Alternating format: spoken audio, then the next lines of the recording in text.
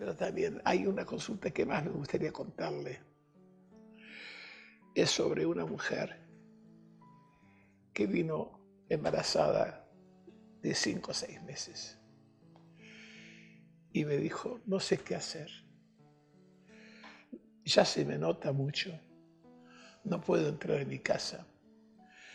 Porque hasta mi padre me dijo, deja de comer, estás cada vez más gorda. Mi padre me dijo me mató. Mi madre me observa, me mira y no dice nada, hace así, me mira y hace así. ¿Qué será eso? ¿Qué será eso? No habla, pero hace así. Nena, estás muy gorda. Nena. Como diciendo, ¿qué será? ¿Es gordura o es otra cosa? O cuatro meses y medio era algo así. No, no sé qué hacer. En el trabajo nadie me dice nada porque soy limpiadora y trabajo siempre sola.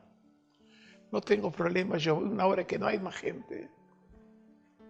Está el portero, me da la llave, yo limpio y está. En el trabajo no tengo, pero tengo problemas en mi casa, entrar en mi casa. ¿Cómo hago para seguir entrando en mi casa cuando sea más grande mi barriga? Yo digo, usted tiene que estar en su casa. No tiene otro lugar donde ir. No. ¿Sabe lo que yo gano? Me dio el número. Me dije, está bien. Con ese número no puedo alquilar nada, no puedo estar en ningún lado, no puedo ir a ninguna parte. Entienda. Pero, por favor,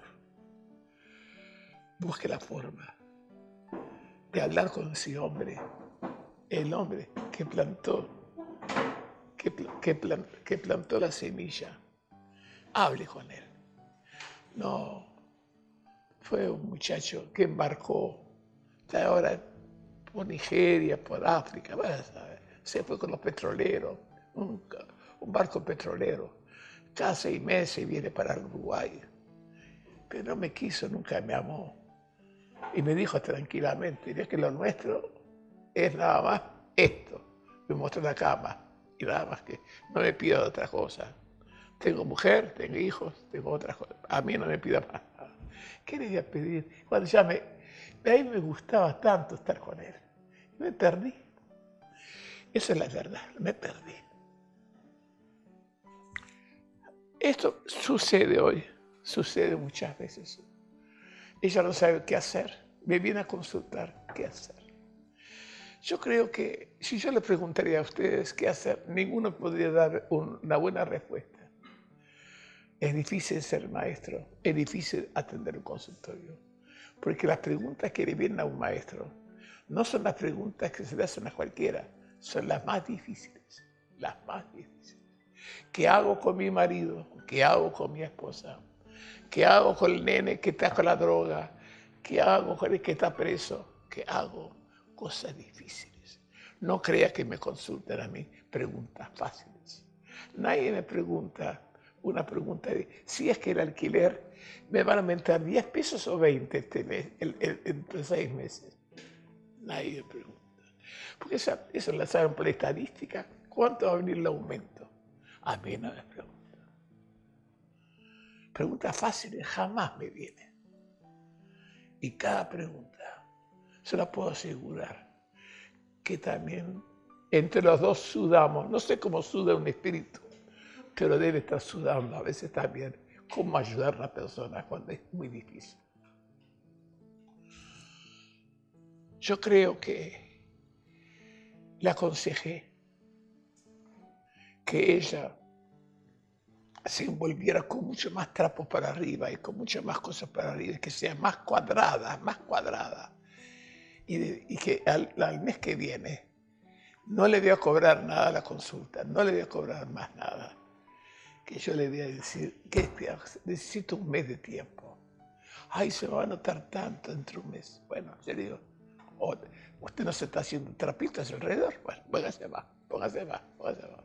Por arriba entró tan grande la mujer, ya tan, tan vuelta. Ya no era una muchacha, ya era una señora. Tantos, tantos, tanta ropa que se puso encima. Si fuera en verano, no sé cómo aguantaría. Dice, ¿tiene la solución? Sí, la tengo. Mire, usted le va a decir a su papá, porque es el, más bravo, que usted conoció un hombre maravilloso, divino, que se fue por dos años a la Antártida, allá al fondo, allá abajo. Cuando él va a volver, se va a casar con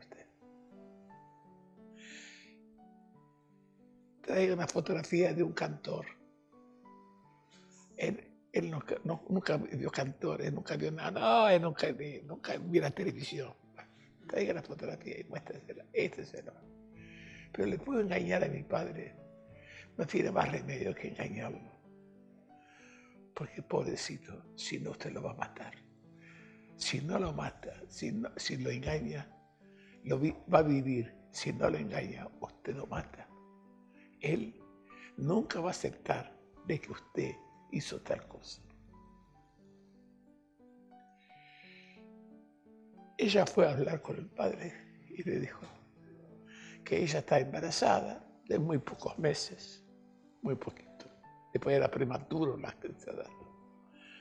que es ahora hace muy poco, de un muchacho que está en la Antártida, militar de la Antártida. Y el, y militar, vamos a hablar con el, coronel. Hablamos con él. Hablamos de nieto. Lo hace venir. Está frente a un hijo. ¿Qué importa la Antártida? ¿Qué importa el ejército? Acá, un hijo adelante. Ella dijo, no puede porque está en contrato. Eso no se puede romper por nada. Y a la vez de allá no se vuelve. Hasta que no cumple dos años. Y con esas condiciones yo me arreglé con él y le dije que cuando él, cuando vuelva me voy a casar y vamos a tener hijo. Tú aceptaste eso, sí. No me consultaste, no le consulté. Porque él se iba. Voy a consultar si ya se iba en el barco.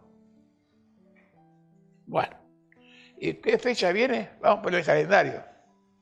Dos años. No puse la fecha de calendario. Increíble. Tres días antes, él muere, el padre. El padre muere. Ella entró en un sentimiento de culpa muy grande. Ya tenía un, niño, tenía un niño chico, todo lindo, todo hermoso. Entró con sentimiento de culpa muy grande, una depresión muy grande. Y vino a consultarme. Dijo, maestro, yo lo maté.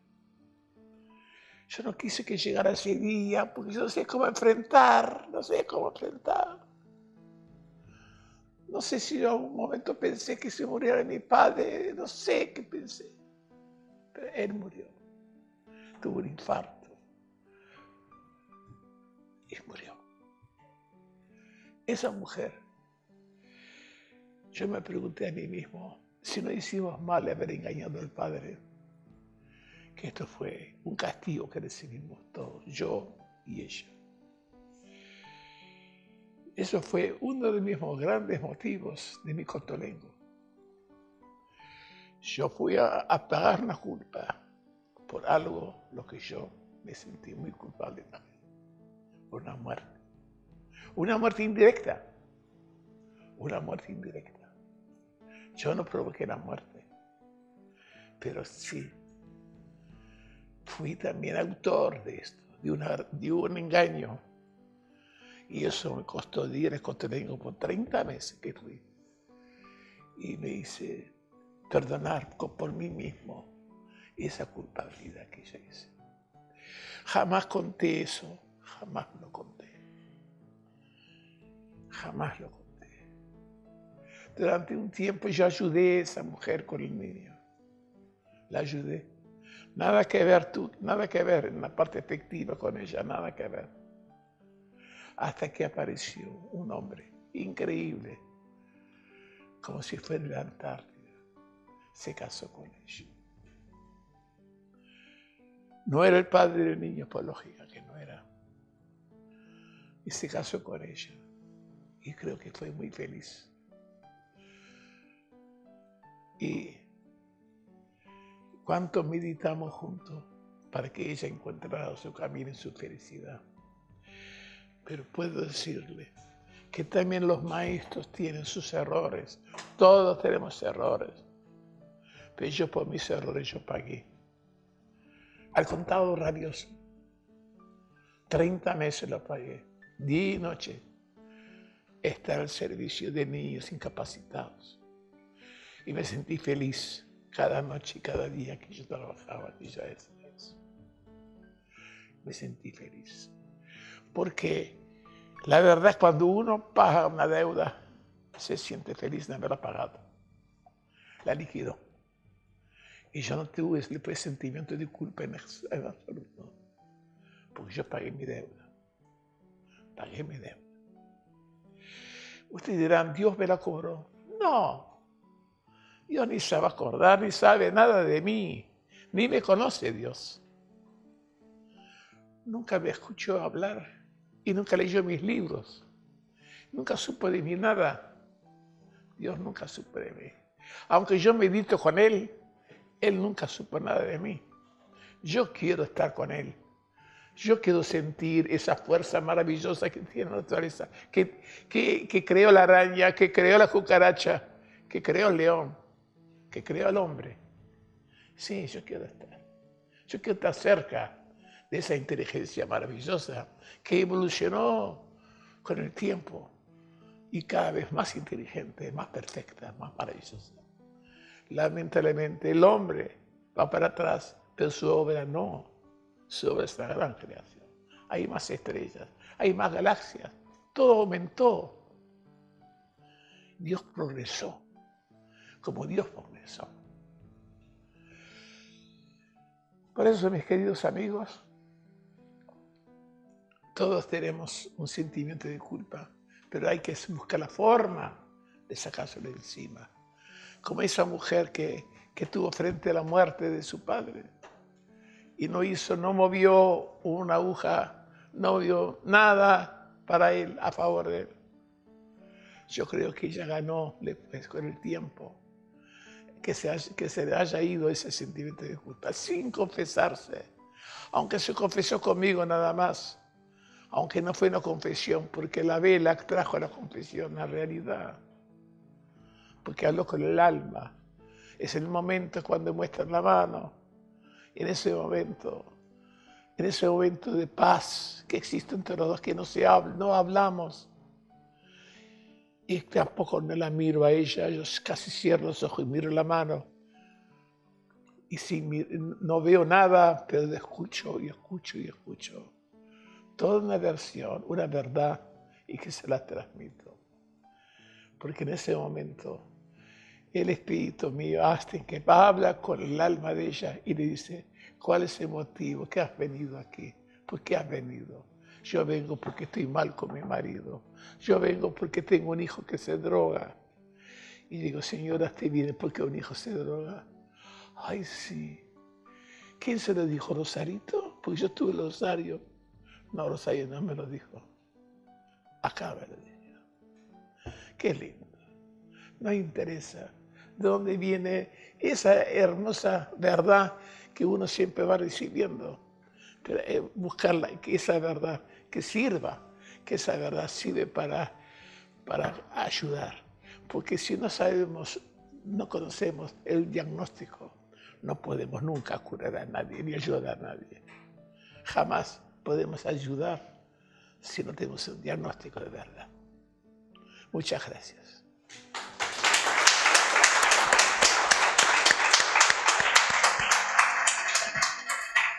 Como siempre, como siempre, voy a dar una meditación, cómo librarse de los sentimientos de culpa, cómo sacar un sentimiento que nos molesta.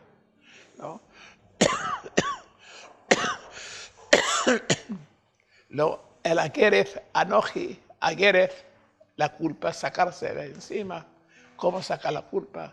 Y entonces la maestra Alma o la maestra Tara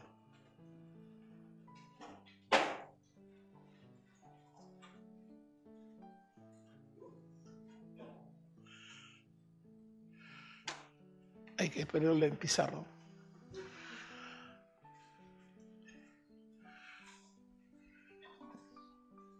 Ageref Anoji. Vamos a hacerlo para, para librarnos de culpa.